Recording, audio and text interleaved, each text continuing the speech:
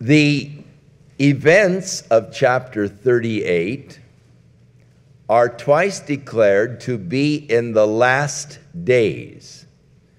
So that would preclude any historic interpretation of these passages.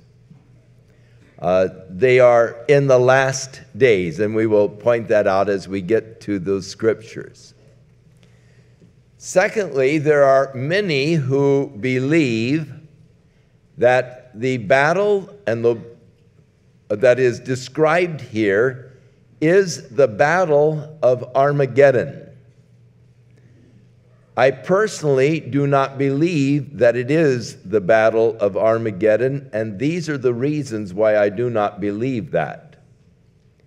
First of all, the participants.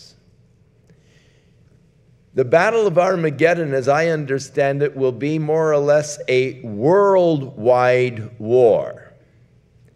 The chief participants will be the Antichrist and the Western powers versus the powers from the East that will come uh, to fight against the Antichrist and the Western powers. As we get into Daniel, we find that the Antichrist is leading the Western powers down into Africa, probably for the purpose of conquering that continent.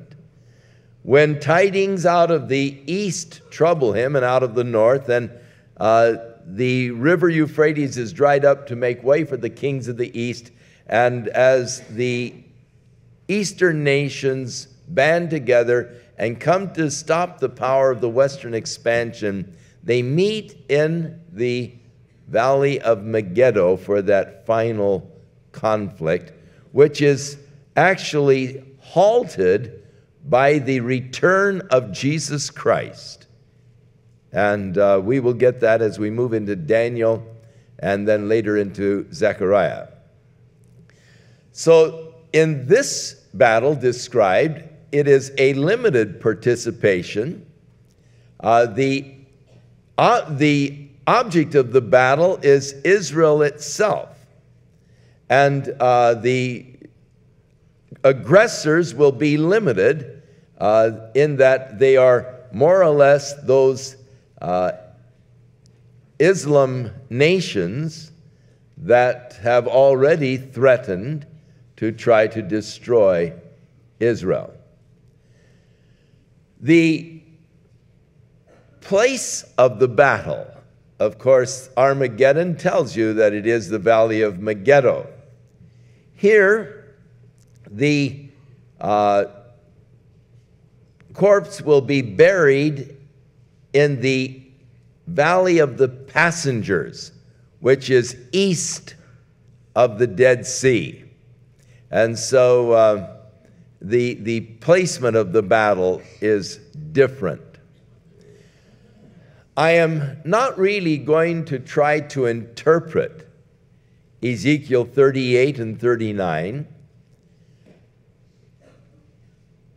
I am going to only try to identify for you uh, some of the names of the nations that are involved, and we'll just read what the scripture has to say. Uh, we will define a few Hebrew words for you so that uh, you can then just see what the scripture says and make up your own mind concerning it. Uh, I think that when you try to interpret things, you begin to get into the spiritualizing of it, and uh, you can make it uh, really meaningless. And I think that it is very clear in what it declares. And so let's just see what Ezekiel has to say about this. Now remember, chapter 36 dealt with the restoring of the nation as far as agriculture. Uh, the mountains will be covered with trees. Uh, they'll be tilled and sown. Uh, they will produce an abundance of fruit an abundance of corn. uh, the land that was so barren and desolate has become like a Garden of Eden. That has happened. Chapter 36, for the most part, is fulfilled. Chapter 37 dealt with the rebirth of the nation, that God would gather them back into the land. They had been scattered all over the world, but God would gather them back in the land, make them one nation, and that has been fulfilled as of uh, May 14th, 1948. The nation of Israel was reborn.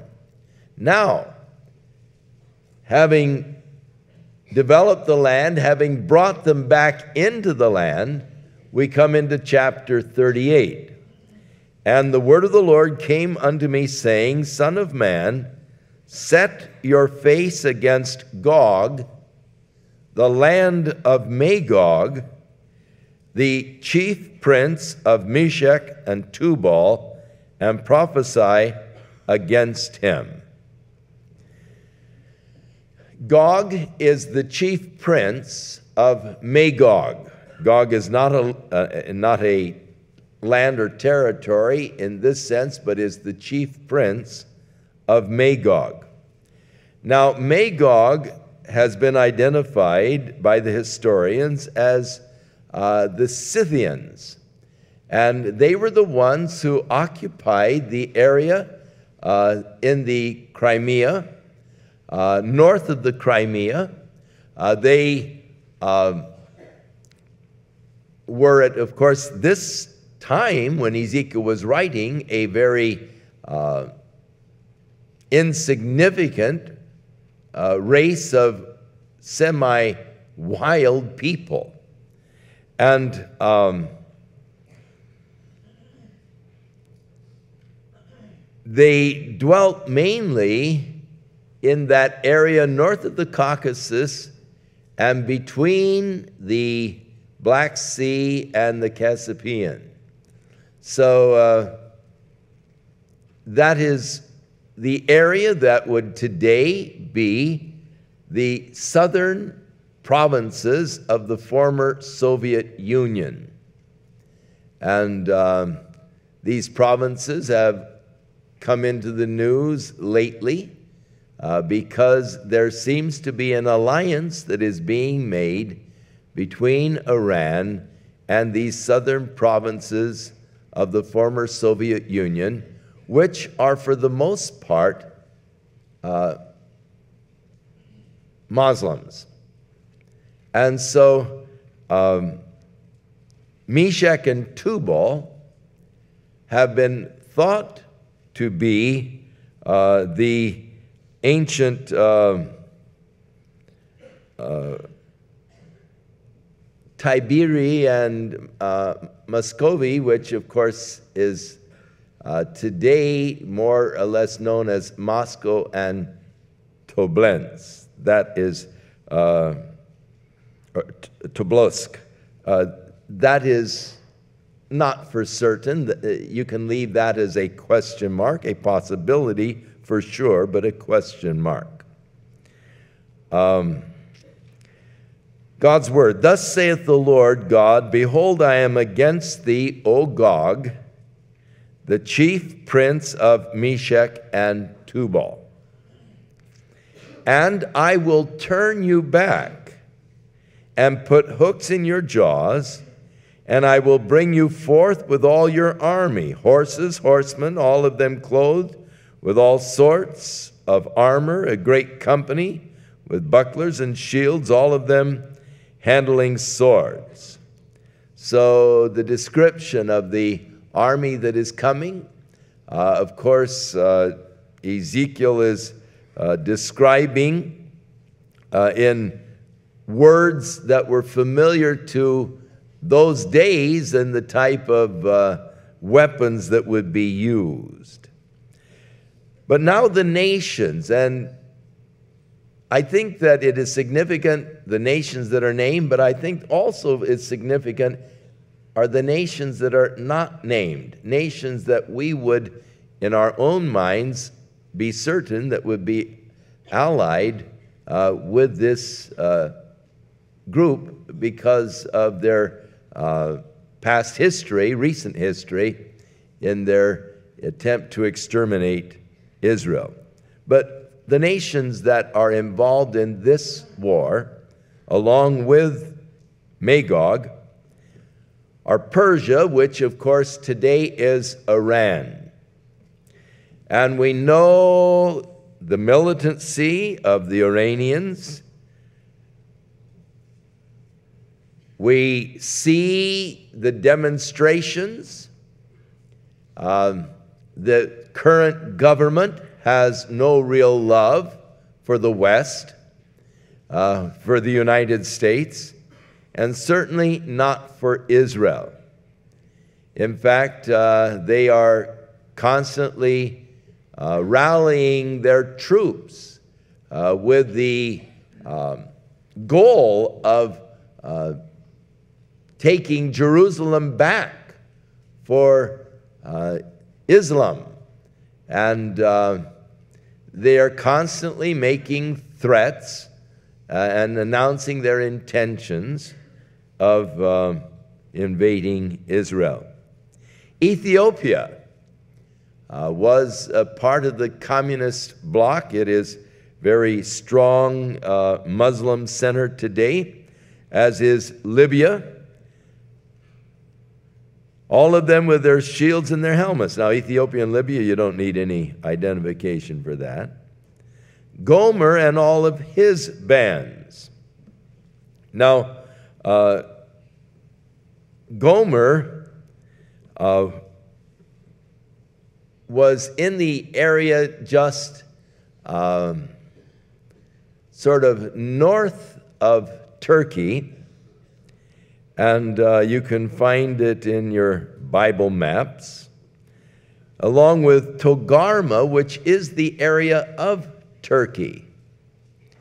And uh, these again are Muslim uh, nations.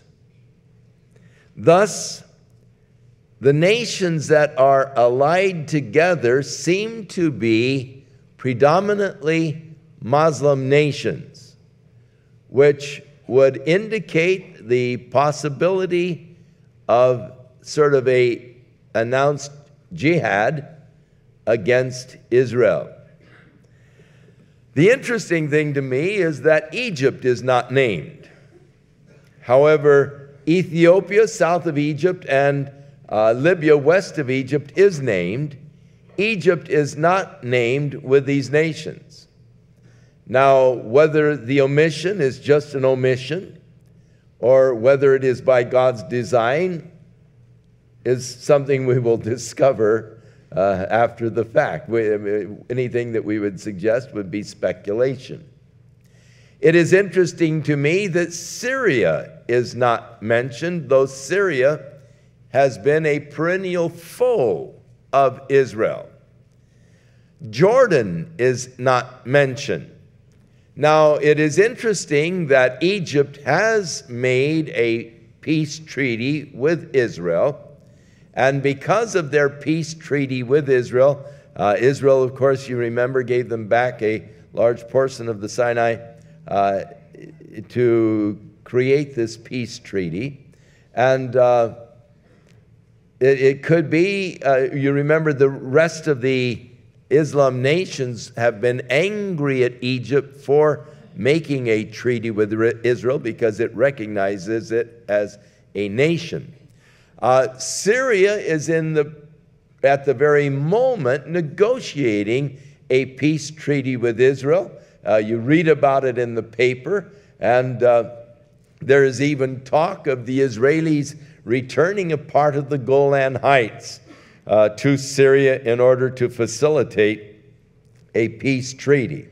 Uh, it, it, it's just significant to me that neither of these nations or uh, the three if you want to include Jordan, plus Babylon or Iraq is not listed. And uh, yet, if you and I were setting up the scenario, surely we would have included these nations that have expressed their desire to destroy Israel. Some of them have, of course, even attempted to do so uh, since the birth of this nation. And so, uh, fascinating that Egypt, Iraq, Syria, Jordan are not mentioned as aggressors with this consortium of nations that will be joining together for the invasion. So in verse 7, be thou prepared, prepare for yourself, you and all of your company that are assembled unto thee, and be thou a guard unto them. For after many days, the time of the battle, thou shalt be visited in the last days. The latter days is again translated last days. You shall come into the land that has been brought back from the sword and is gathered out of many people against the mountains of Israel. Chapter 36 was, of course, prophesied to the mountains of Israel. Now they're going to come against these mountains of Israel, which have always been waste. That is, since Israel was uh, dispersed by the Romans in 70 AD, the mountains of Israel became wasted wilderness area. And of course, the prophecy was they would be replanted and fruitful again. And so you will come against these mountains of Israel, which have been always waste for those almost 2,000 years, but has been brought forth out of the nations, and they shall dwell safely, all of them. Now, some of the some people say, well, Israel isn't dwelling safely, has never dwelled safely since it has become a nation. They've already had three wars uh, with the surrounding nations. And so, uh, how can you say they are dwelling safely? If you will look up the Hebrew word safely in your lexicon, you will find that the word literally means confidently. Now, they may not be safe, but they're confident. You talk to them, and you'll find they are very confident. And they are dwelling confidently, though perhaps not safely, uh, as, as we would think of safely, but who in the world dwells safely, pray tell, in these days, anywhere in the world? Um, Yesterday, right up here on Warner uh, and Broadway in Santa Ana, a young man stabbed to death, stabbed some 18 times, and there was a big rumble right at the corner of Bristol and Warner about the same time. So you can't really say that you're dwelling safely, uh, but confidently. And they will be dwelling confidently. Thou shalt ascend and come like a cloud, that is, uh, or like a storm, and thou shalt be like a cloud to cover the land. A large number of personnel involved in this invasion. You and all of your bands, and many people with you. The chief aggressor will be Magog but uh, with all of these other nations combining with them. Thus saith the Lord God, it shall also come to pass that at the same time shall things come into your mind, and you're going to think an evil thought. You will say, I will go up to the land of unwalled villages. I will go to them that are at rest, that dwell confidently, all of them dwelling without walls and having neither bars nor gates. Now, the only walled city that you'll find in Israel today is the old city of Jerusalem uh, with the walls that were built by Saladin that are still intact. And, and you have this small section of Jerusalem, a very small section that is walled. But the major part of Jerusalem is outside of that old walled uh, area. So uh, it, it's just sort of decorative, really. Uh, it, it, it's great tourist attraction because it's interesting to see the walls of the old city of Jerusalem. Uh, but uh, it, it, it, if you'd say, well, Jerusalem is a walled city, uh, to a Jew, they would laugh at you because uh, it's such a small portion and it's just that portion within, but all around it for miles and miles stretches the city of Jerusalem. And when you come to the outskirts, you don't find walls. So they're dwelling confidently without walls.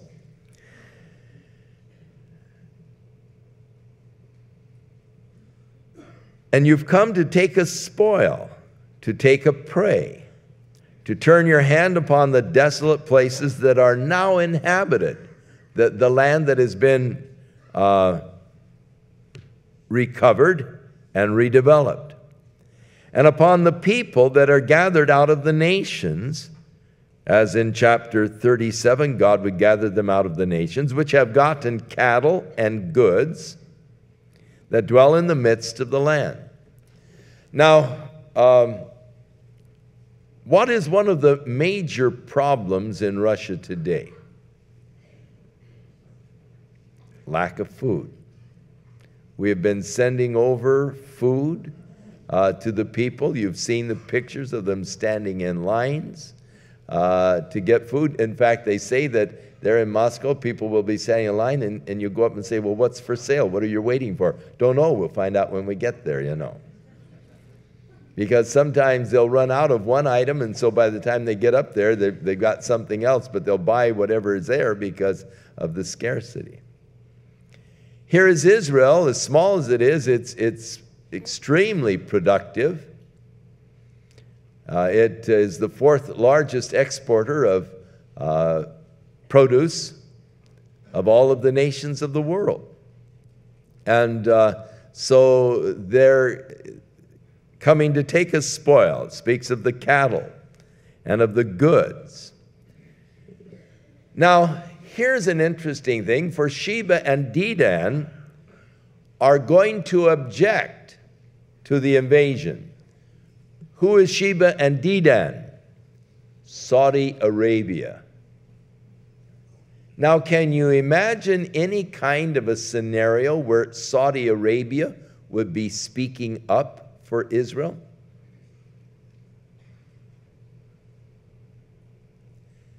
Would be objecting to an invasion? The only scenario I can imagine is that Saudi Arabia feels threatened by the invasion and that they are perhaps a target also of the invaders for the tremendous wealth of the oil reserves that they have. The Valley of Passengers is in the area of Saudi Arabia, east and south of the Dead Sea. So that it is quite possible that this is an attempt to take over the oil reserves. And the interesting thing is that Saddam Hussein had a goal of taking Saudi Arabia, Kuwait, and Saudi Arabia. He was stopped by the combined forces that joined in the Desert Storm operation. Had he taken Saudi Arabia, it would be a different story today because we are so dependent upon the oil that we are getting out of the Middle East that we could not survive as a uh, industrial nation unless we have the oil that we are getting from that area. That is why we stepped in. That is why we intervened. Because if they can control the oil, they can control the world at this time, the world's economy. And they are very well aware of that. They are aware of the power of oil. Uh, they became aware of that in 1973 with the oil embargo and when they uh, doubled and quadrupled the prices of oil, and they realized what a bargaining chip they have, and they've been using it ever since. upon the Western nations.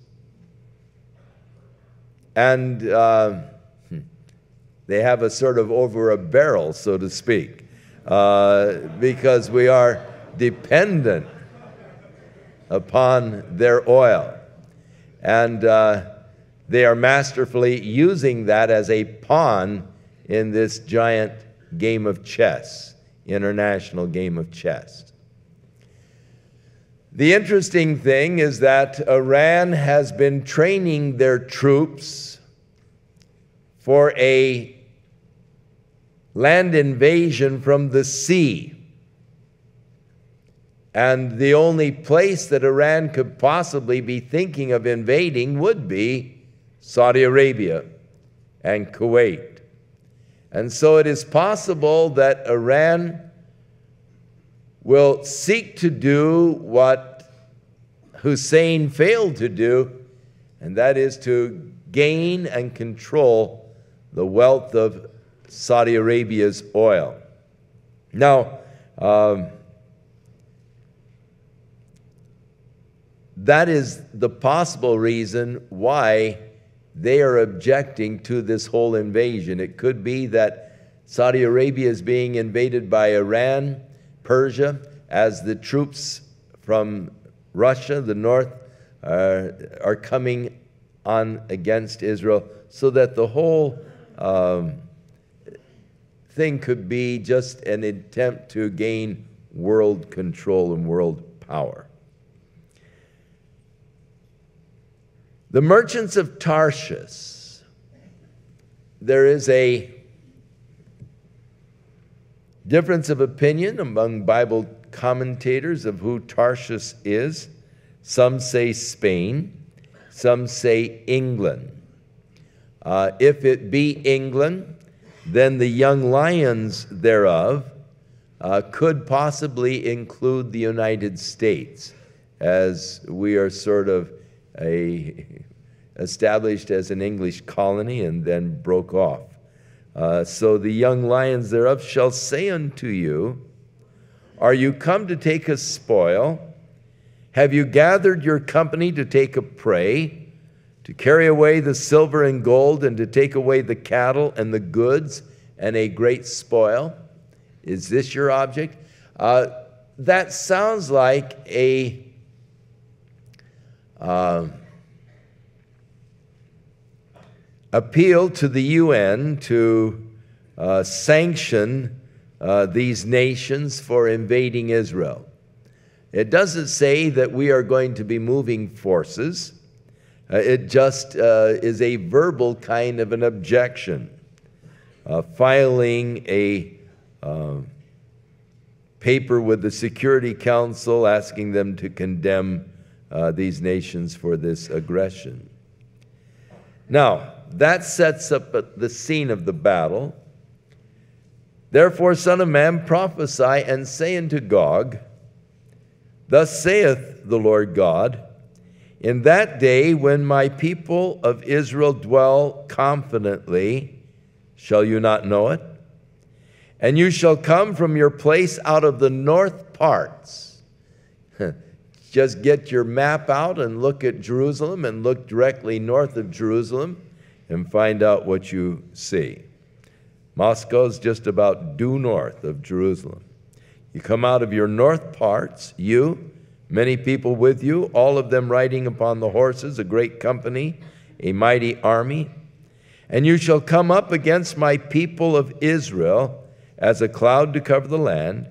It shall be in the last days, and I will bring you against my land that the heathen may know me when I shall be sanctified in thee, O Gog, before their eyes.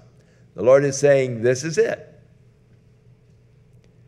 The, the nations will know that I am God when I am sanctified before their eyes. Uh, this phrase, sanctified before their eyes, we're going to get that two or three more times and you'll see the importance of it. Just make a note in your mind now. We'll be back to that. Thus saith the Lord God Are you he of whom I have spoken in old time by my servants the prophets of Israel? which prophesied in those days many years that I would bring you against them? It shall come to pass at the same time when Gog shall come against the land of Israel, saith the Lord God, that my fury shall come up in my face. Now, in its history, God fought for Israel.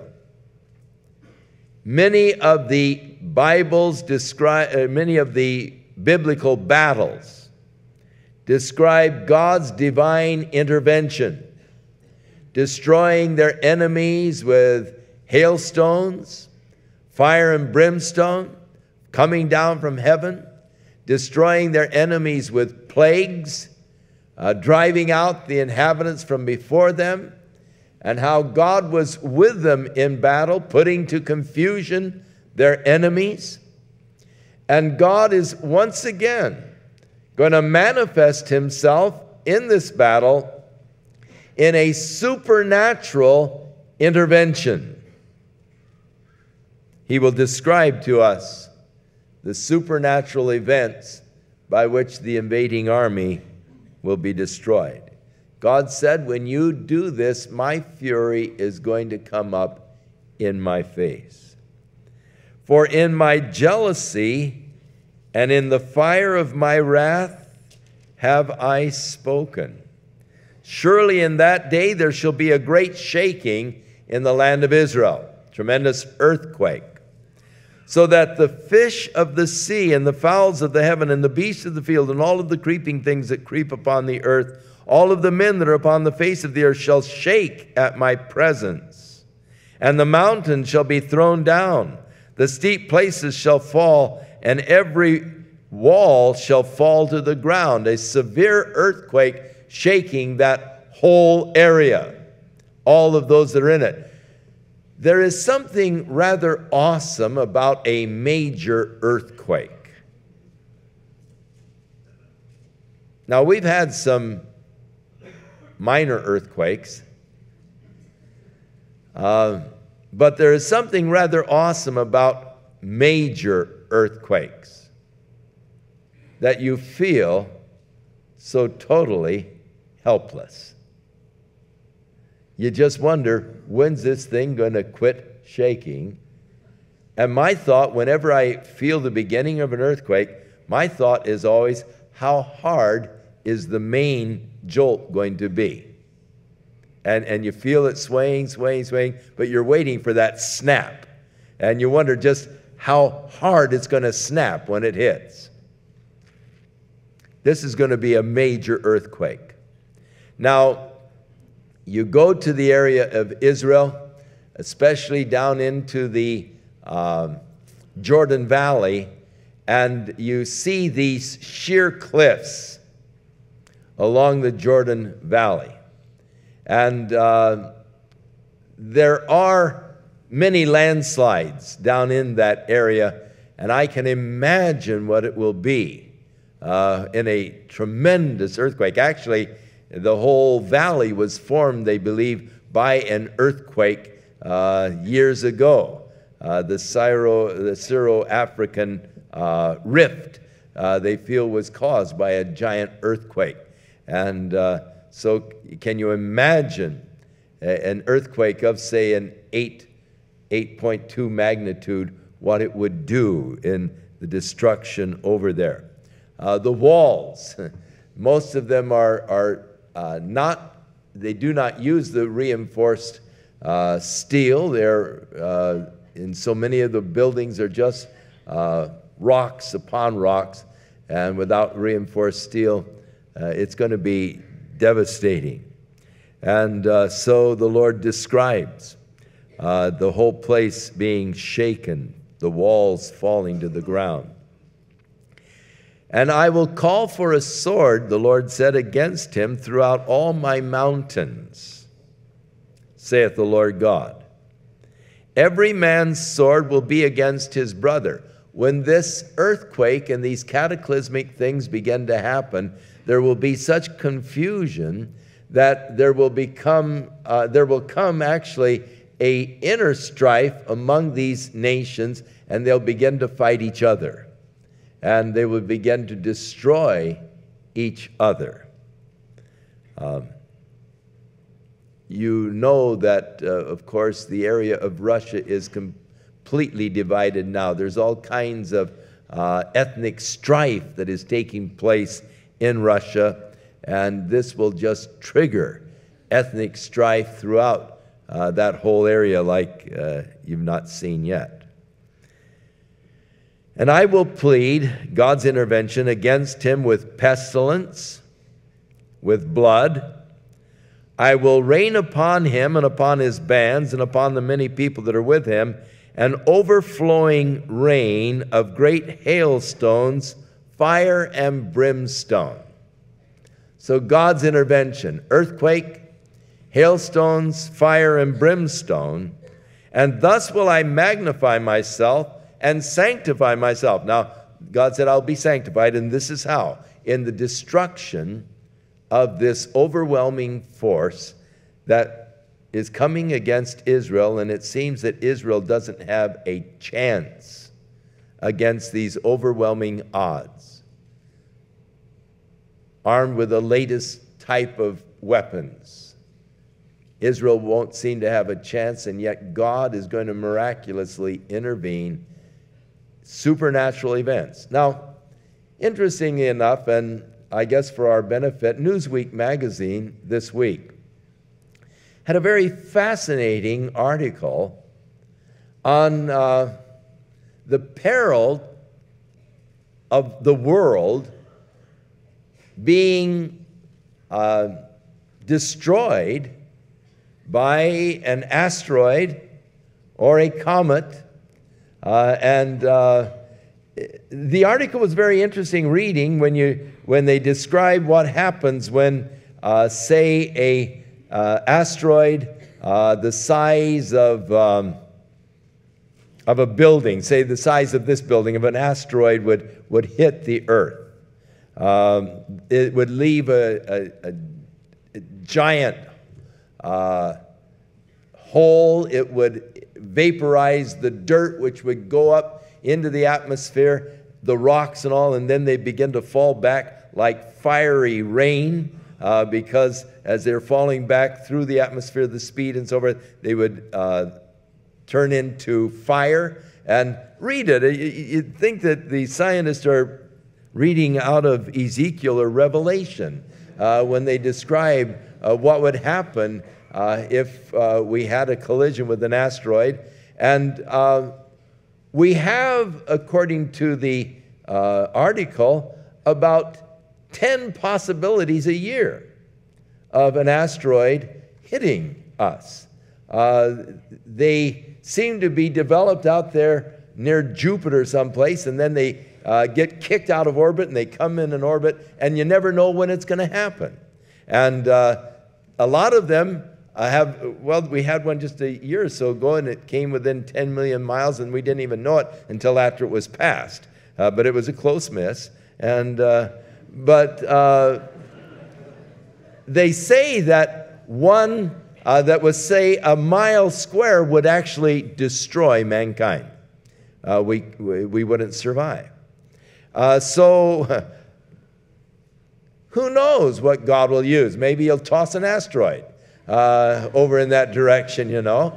And uh, surely the article does describe the exact kind of a scenario that you read here in Ezekiel and in uh, Revelation. But, you know, however God does it is, is something that's in His domain and we can only guess. Now, he continues this same prophecy and he said, Therefore, thou son of man, prophesy against Gog, and say, Thus saith the Lord God Behold, I am against thee, O Gog, the chief prince of Meshech and Tubal. And I will turn thee back and leave but a sixth part of thee, and will cause you to come up from the north parts and I will bring you upon the mountains of Israel.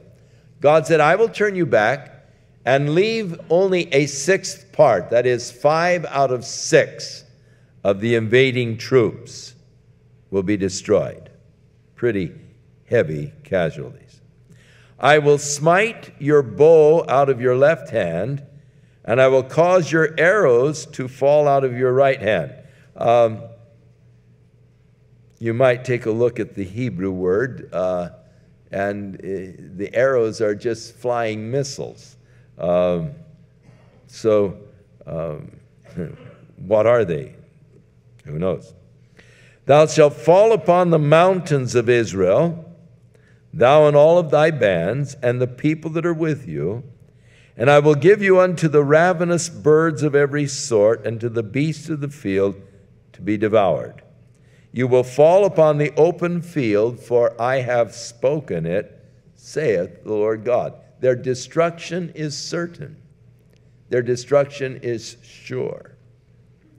So I will make my holy name known in the midst of my people Israel, and I will not let them pollute my holy name anymore.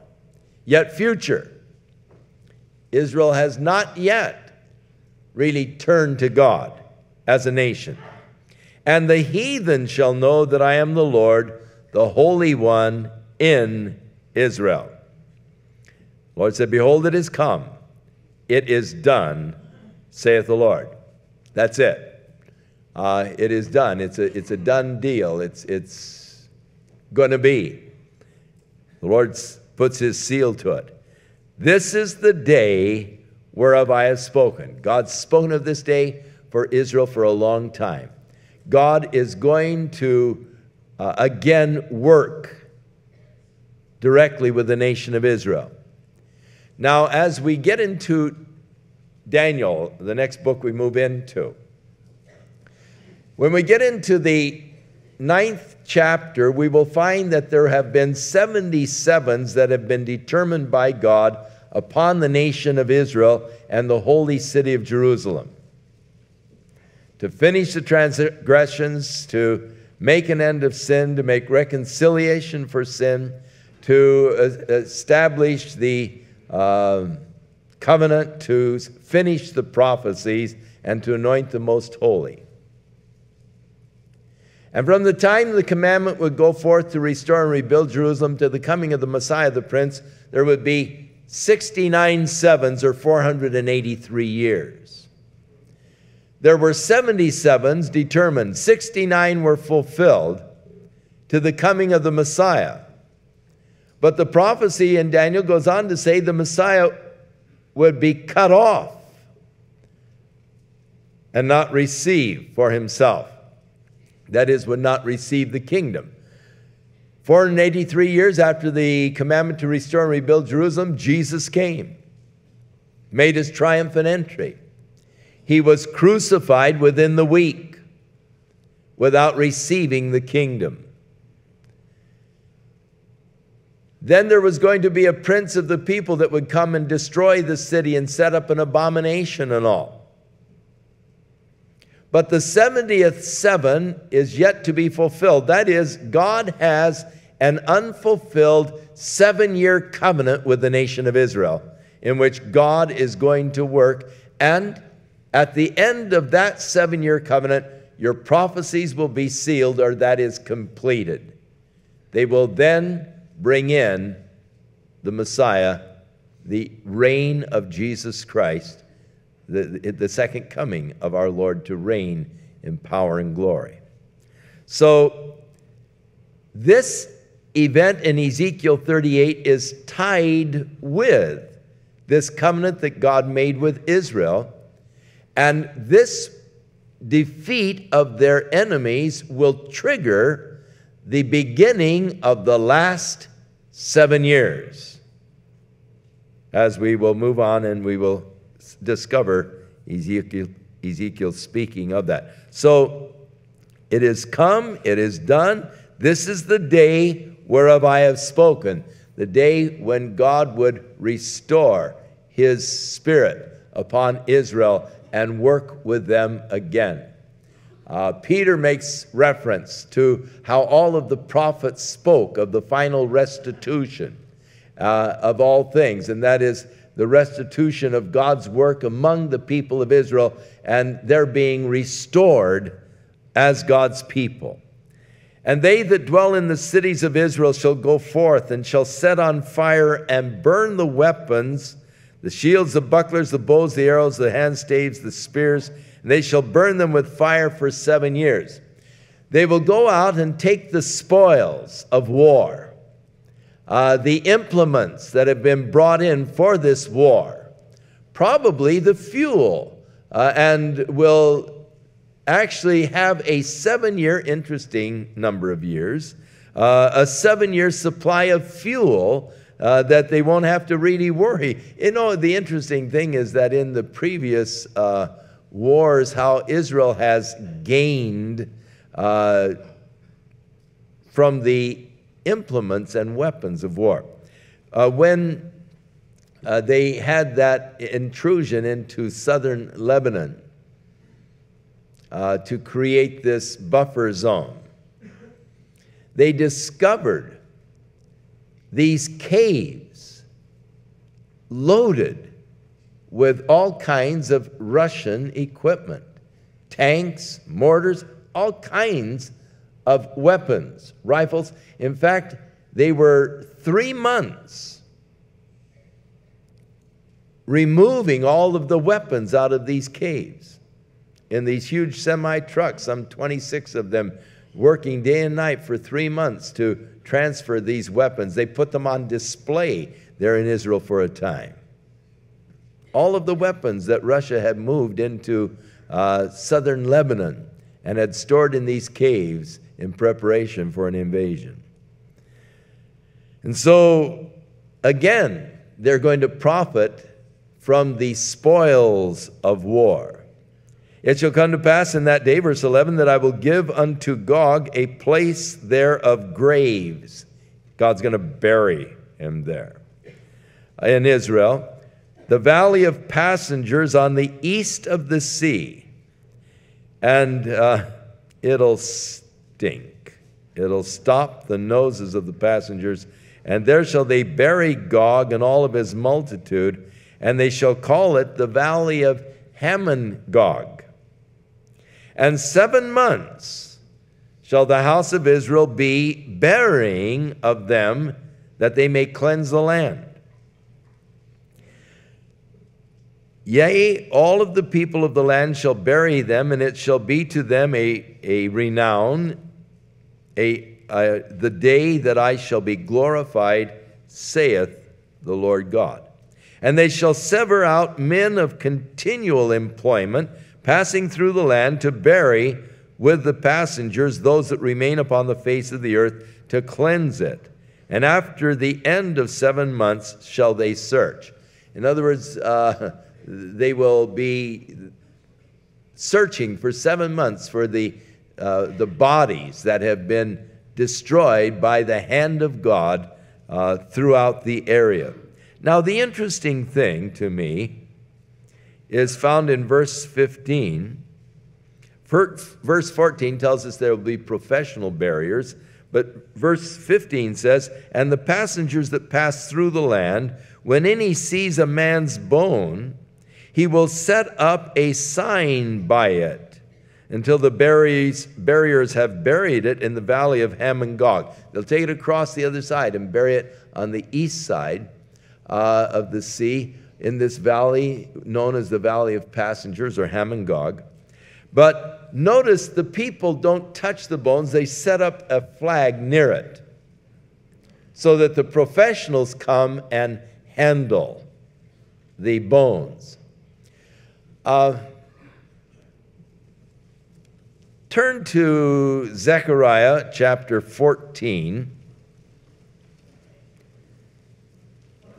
And in conjunction with this, we have an interesting verse 12.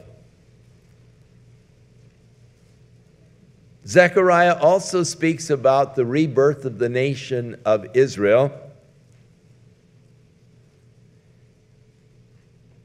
And about how the enemies round about are going to seek to fight against her.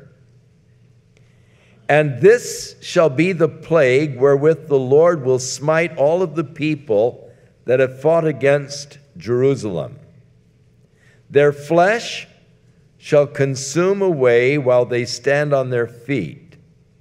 Their eyes will be consumed in their sockets, and their tongue shall consume away in their mouth.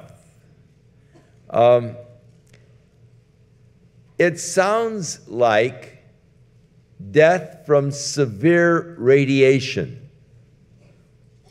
Uh, I will let you to draw your own conclusions as to uh, what that implies. But it would imply that people are afraid to touch the bones, perhaps because of radiation. They don't touch the bones, they just set up flags, and the professionals come to bury them. It could indicate that definitely uh, nuclear devices will be involved in this war and in the destruction of Israel's enemies. And also the name of the city shall be Hamonah, uh, thus shall they cleanse the land. And thou, Son of Man, speak, saith the Lord God, speak, uh, speak unto every feathered fowl and to every beast of the field, assemble yourselves and come and gather yourselves on every side to my sacrifice that I do sacrifice for you, even a great sacrifice upon the mountains of Israel, that you might eat the flesh and drink the blood. And you shall eat the flesh of the mighty and drink the blood of the princes of the earth, of the rams and lambs and of the goats and bullocks, all of them fatlings of Bashan. Now, this is why many people, many um, uh, commentators believe that this perhaps is also the Battle of Armageddon, because in chapter 17 of the book of Revelation, you find at the Battle of Armageddon, the birds are all invited to come and feast at the feast that God prepares. Uh, but um, in both battles, there are going to be plenty of uh, bodies to feed upon for the vultures and all. And so the invitation to come. Incidentally, a few years ago, there was some track about uh, vultures multiplying in Israel, uh, but uh, no real fact to it. You know, like you hear these crazy rumors. And, and they seem to spread, you know, like these scientists that were drilling this hole down in Siberia or Upper Russia or something, put a microphone down and heard, you know, all of these uh, groans and, and just, and they have, they have these stories that circulate, you know. Uh, uh, Madalyn O'Hair is now petitioning the FCC to cut off all Christian radio. That's not true. That uh, it's just, but these petitions, they, they, they're like chain letters. They just keep coming around. And uh, people go out and get all these signatures. And the FCC has pleaded. They've sent us letters and said, please tell the people don't send any more petitions. We've got so many bundles and we don't know what to do with them, and there's nothing to it. We have no intention of, of taking Christian radio off and all, but uh, these petitions, they get circulated again, and there's just a, a lot of these, you know, the couple that picked up a hitchhiker and he sat in the back seat and warned him Jesus was coming soon, and then he disappeared, you know. And uh, these stories, they just have a way of, of recirculating, and I heard that one first back in the 40s. Uh, so, uh, and I've heard, uh, you know, versions of it since. Someone took a picture of a cloud, and there was Jesus standing in the formation in the cloud, you know, and all of these things. So, um,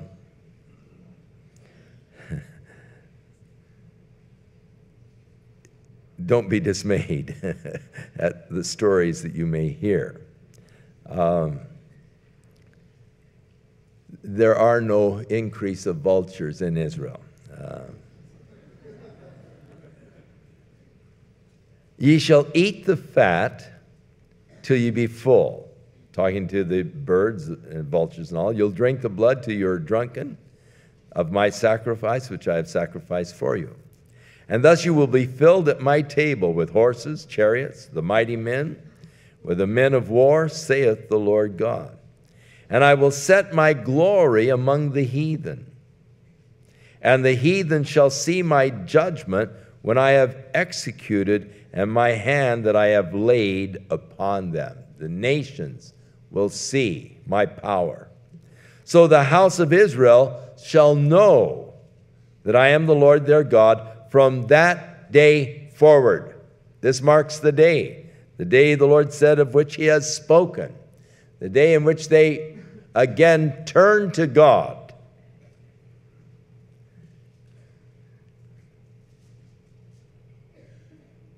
And the heathen shall know that the house of Israel went into captivity because of their iniquity, because they had trespassed against me. Therefore, I hid my face from them and gave them into the hand of their enemies, and so they fell by the sword.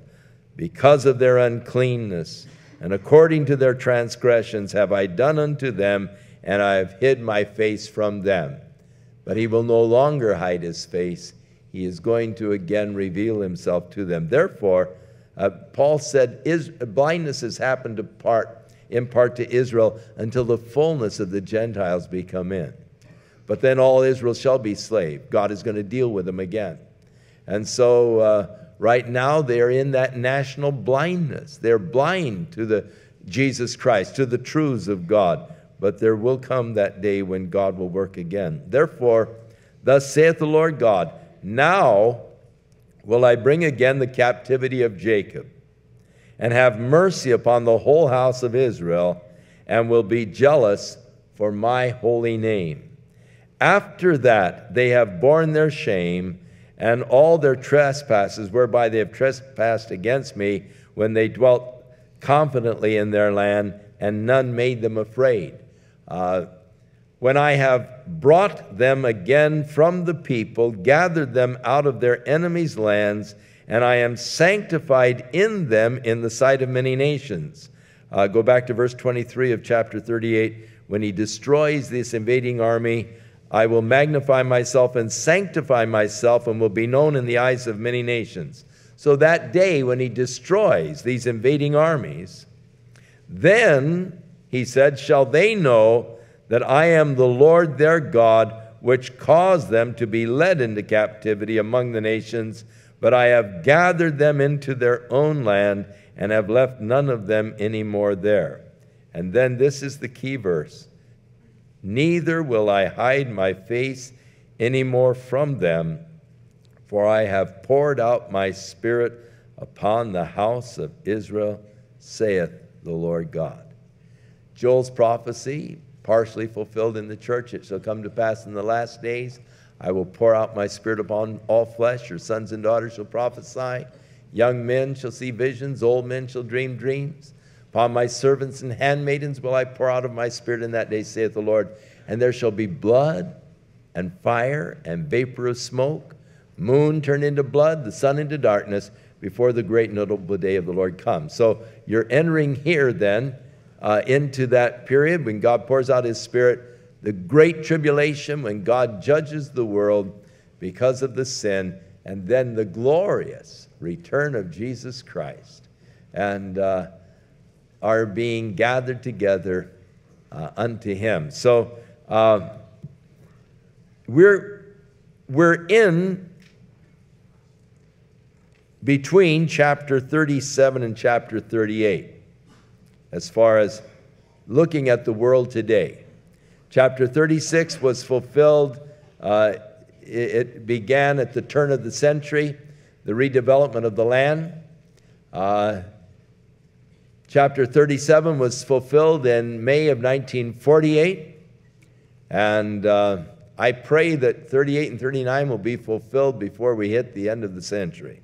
Uh, who knows, though, it, it, when God is going to work. But this is the next major event uh, to come along.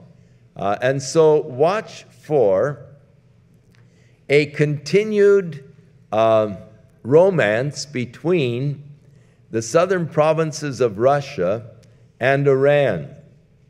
Uh, as they are joining together they need the Iranian money that uh, Iran, of course, has as a result of her oil reserves. Iran desires their military equipment, which they are anxious to sell because they need the cash. And so there is a, uh, a marriage that is taking place now, and uh, the development of military uh, weapons uh, by Iran. They have hired over 5,000 of the Russian nuclear scientists, uh, and they are seeking to develop their own nuclear capability besides having purchased uh, nuclear weapons from uh, Kyrgyzstan. And so uh, the whole thing is shaping up now before our very eyes. Keep alerted when you see articles in Newsweek, Time, and so forth on the Middle East, upon Iran, and so forth. Pore over them because you'll find that what Ezekiel told us about is really shaping up now. And uh, the thing is, it is my belief that when God puts his spirit again upon Israel, and the Spirit of God is working among the people of Israel, that the church will have departed. I believe that right now the Spirit of God has been poured out upon the church and upon the Gentile believers. And I believe God's Spirit is working basically among the Gentile nations. As Paul said, blindness has happened in part to Israel until the fullness of the Gentiles come in. And that we, as a wild branch, have been grafted in to partake of the, of the fatness of, of the promises of God and all. But don't boast against the true branch because God is able to graft the true branch back in, which He will, and God will again work with the nation of Israel. But when He does, the church will have been removed. We know that the Antichrist cannot be revealed until that which hinders is taken out of the way. That which hinders shall hinder until it is removed, and then shall the Antichrist be revealed. I believe that that which hinders the revelation of the Antichrist is the power of the Holy Spirit within the church, the witness of the church through the Spirit. That's the thing that's holding back the Antichrist today. When the church is removed, then God will no longer leave Israel in blindness, will reveal himself to Israel. His Spirit will be poured out upon Israel, and uh, you will enter into that final seven year scenario uh, that is described through many places in the Bible as God seals the 144,000 of the Jews uh, to uh, preserve them. They will be his primary witnesses here on the earth during that seven year period of time, the church out of here. So uh, it's sort of like uh, when you see the Santa Clauses and reindeer going up, you know that Thanksgiving is getting close. Uh, because you know that Thanksgiving comes before Christmas. Uh, when you see these signs of the return of Jesus Christ, uh, you realize that the rapture of the church is getting very close because it precedes the return of the Lord in glory. For when Jesus comes again, then Paul said, when Christ, who is our life, shall appear, we shall also appear with him in glory. Um, coming with him to establish God's kingdom upon the earth. Behold, he cometh with ten thousands of his saints. And so, um, as Jesus said in Luke, when you see these things begin to come to pass. Now, do you think they've begun to come to pass? I mean, can you see any hints that uh, Iran is sort of getting chummy with Russia, at least uh, with the southern uh, provinces there? Uh, can you see Libya sort of antagonistic towards Israel? Uh, you know, is it, has it begun to come to pass? I think so myself. Uh, Jesus said, Look up and lift up your head because your redemption is drawing nigh. And really, as I look at the world today, as I look at our United States today, none too soon. None too soon. I look at the moral conditions of our nation. We have a president who vows to open up the military to the homosexuals, to the gay community. We have a president who says he's going to enact special legislation for them. A president who said he is going to uh, seek to get a law uh, that will uh, allow abortion so that it won't be a matter of the court, but it will become the law of the land. Uh, I'd say we're in big trouble. I, I, would, I would, no, let me rephrase that. I'd say the United States is in big trouble. I'd say we're out of here.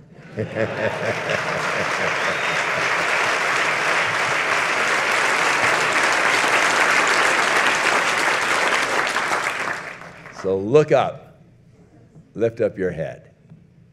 It's getting close. Shall we pray? Father, we thank you for your word, a lamp unto our feet and a light unto our path. A map whereby we can follow. A map that leads us, Lord, in the right path, your path. May we walk, Lord, in your ways. May we be obedient unto your word. And Lord, help us to so live in these days. When the enemy is going about as a roaring lion, seeking whom he may devour, Lord, may we be steadfast and unmovable abounding in the work of the Lord. And so, Father, we thank you again for the Word of God, a guide for our lives. May we follow its precepts. In Jesus' name, amen. Shall we stand?